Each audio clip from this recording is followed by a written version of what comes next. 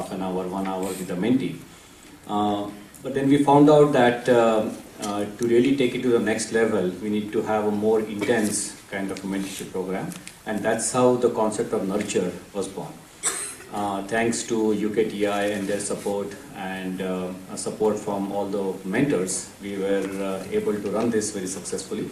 So Nurture 2 obviously was the one that was launched after a successful Nurture 1 initiative and today I was very happy to hear uh, from um, three of the Nurture 1 participants and see how well they're doing. Uh, I wish uh, them very well and hopefully uh, they'll be the new uh, industry leaders uh, from our ecosystem coming out. So when we launched Nurture 1.0, as you know, in Pune, uh, one of the things that I was told that uh, there are way too many mentors compared to people who want to get mentorship because everybody wants to mentor, I guess. So but then we were surprised that uh, there were 50 plus applications that we received when we announced the program from various different domains. Uh, and it was uh, a tough challenge for us to select. Uh, we interviewed a lot of, most of those applicants and we selected six companies. And today you saw that we graduated after intense engagement between mentors and mentees. We graduated three of them. So if you're wondering what happened to the other three, so uh, one of them essentially we found there was a clear um, mismatch in the expected commitment and uh, Ajay Hiraskar pointed out in his presentation that that's a learning that we could probably assess their commitment in uh, participating in this program. Uh, the other two we actually were, um, um we decided that uh, the progress they have made compared to the three that we decided to graduate was not enough and just to be fair, uh, we decided not to uh, graduate them at this time, but uh, continue the program with them and uh, hopefully they'll get a chance to present themselves in the next, next event. So uh, we have been capturing uh, all the learnings and uh, Ajay did a great job today in um, identifying all the positives, um, the negatives as well from this program and clearly we will take, take that into account when we do the subsequent programs. So that essentially, uh, I, I, got to also mention the mentors, you've met all of them in the alphabetical order of the first name. I'll just say that uh, we had Ajay Hiraskar, Ajit Patil, Kiran Deshpande, Nitin Deshpande, Ravi Nigam, and Sunil Likhar. Uh, without support from these mentors, and uh, I'm sure all of you know these names, uh, collectively they bring uh, a lot of experience to the table, and without their support, we couldn't have possibly run a program like this. Uh, so basically, as I see it, Nurture 2.0, you know, it's time to say goodbye to Nurture 2.0 and launch the Nurture 3. One of the things you'll notice is Nurture 3 actually has a logo. We didn't have a specific logo, so this is, I would say, sign of progress. We have somebody who actually put together a nice logo for this. This logo actually was um, unveiled recently uh, last month um, uh, at an event uh, held by UKTI, an organization which supports the Nurture Initiative.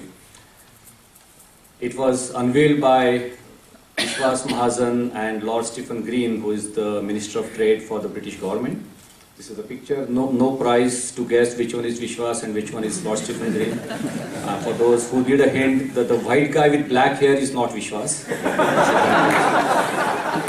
But nevertheless, uh, uh, we are very happy that uh, we announced Nurture 3.0 logo and it's time to now decide how we're going to take it forward. Uh, the timeline that we have in mind is uh, today we are making the announcement that we will have Nurture 3.0. Uh, we'll put a team together. Essentially that means a team to do the program management as Ajay pointed out that there are things that we can improve over there.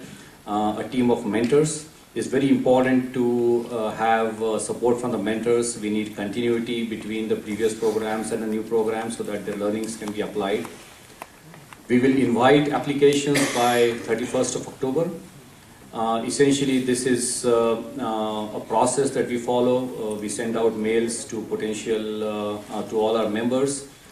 they are re required to send in some information about their company. Uh, the deadline for sending in applications would be 14th of November 2013. Uh, the process of selection uh, will start uh, on 21st November. We interview. Uh, we do first we shortlist the applicants based on very basic parameters because one of the things we're looking for in nurture program compared to a standard mentorship program is that we want to make sure that the applicant company knows where they are, which is point A. They need to know where they want to go, which is point B and the mentors uh, and the mentees work together in carving out the path to go from point A to point B. So we noticed that quite a few applicants don't even know where they are, so they are not, uh, they, they, they, they, don't make the short list. Uh, so because knowing point A is very important. Uh, during the process of the interview, we try to assess uh, their level of commitment, the kind of team they have, do they really have the basics needed to, for them to go from point A to point B. Uh, and that's what we assess in the interview process. Um, we expect to finish the selection by 15th of December and uh, we would expect to have the kickoff meeting between the mentors and mentees because after the selection we have to do the matchmaking between the mentors and mentees uh, and then we have a kickoff meeting on the 24th of December and then the engagement will start.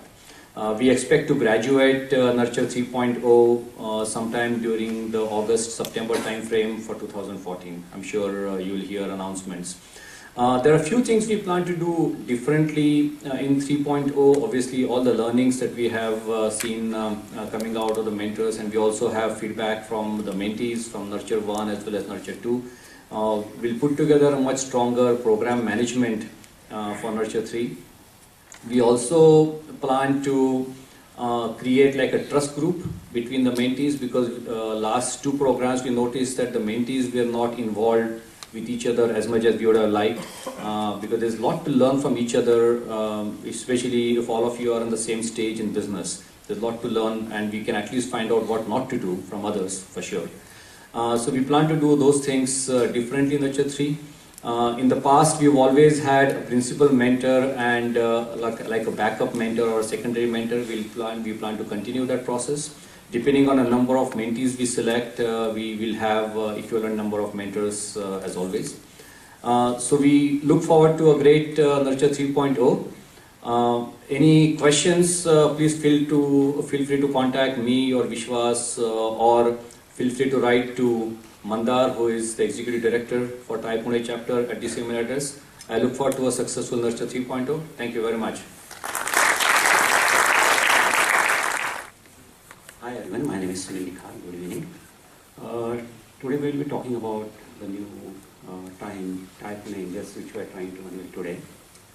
Uh, as you have heard from Vishwas, Ajay, that we have been having several mentoring activities uh, which are conducted by TiE and uh, of course uh, mentors uh, in the process uh, uh, get to see the company, get to see the understand the uh, founders, get to understand the business plan and see the team. And as we have seen in all six presentations that all of them need funding. That's the one of the common thing which we found out today. Also, several ventures in and around Pune have been asking TiE Pune if they could be getting any kind of funding. So uh, this was a logical extension that we, you know, we have been think, uh, discussing and came up with this idea about uh, having a special club wherein uh, all the charter members will come together and sort of put together a uh, fund or rather fund uh, startups. So we're starting this uh, TiE Pune Angels with a mission to invest angel round or seed round in startups uh, basically, we want to invest in uh, uh, companies or startups with a strong teams, strong value proposition, and a sound business plan. And also the companies which will be selected for nurture program, uh, they'll also be, uh, some of them can get funded through this process. So hopefully, I would be very glad to see if some of these companies who are actually getting enrolled in nurture also come graduate with the funding in hand. That will be a great thing. Uh, as a process, the members will be working collaboratively uh, on the whole investment process. Now, when I say that, you know, uh, individually, uh, there are several uh, charter members who are doing individual investment in several companies, but there are definitely challenges uh, when we are doing uh, investment and as an angel individually. Uh, but when it is done as a collaborative, I hope that that will be a great advantage.